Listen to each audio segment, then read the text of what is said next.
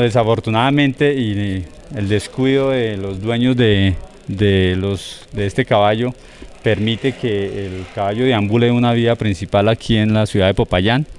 Eh, se presenta un accidente de tránsito, ocasiona el accidente de tránsito, es atropellado por un, por un vehículo.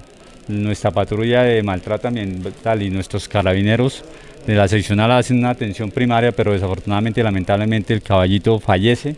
Aquí invitamos a la comunidad que no dejemos deambulando los caballos, las mascotas, en nuestras mascotas y todo, cualquier animal que esté, sea responsabilidad de alguna persona, eh, tengamos el cuidado eh, de acuerdo a las normas. Nuestro Código Nacional de Policía permite una sanción para el dueño de este, de este semoviente por no tenerlo bajo, unas, bajo las, la normatividad establecida que hay al código, que es tenerlo amarrado o en un sitio y no deambulando por la ciudad. ¿También se le puede indicar alguna eh, responsabilidad de pronto al conductor del vehículo? Bueno, ese es un tema que lo mirarán las autoridades de tránsito, pero desafortunadamente cuando un animal está en vía pública y no tiene, no tiene un bozal, en el caso de los perros o los caballos no tiene cabresto, o tiene eh, las medidas de seguridad, pues eh, no hay garantía de que el, animal pueda moverse con, conocimiento y con inteligencia, porque por eso es un animal. Entonces aquí yo creería que la responsabilidad netamente es del descuido de los dueños del, del animal, por ahora.